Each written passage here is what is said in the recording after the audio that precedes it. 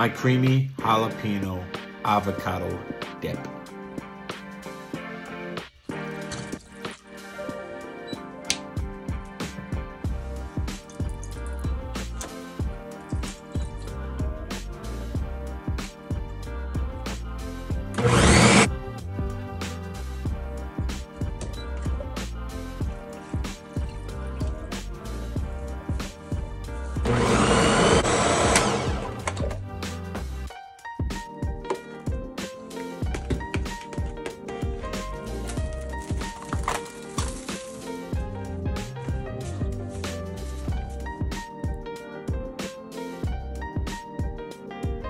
Be sure to hit that subscribe button if you want to see more recipes.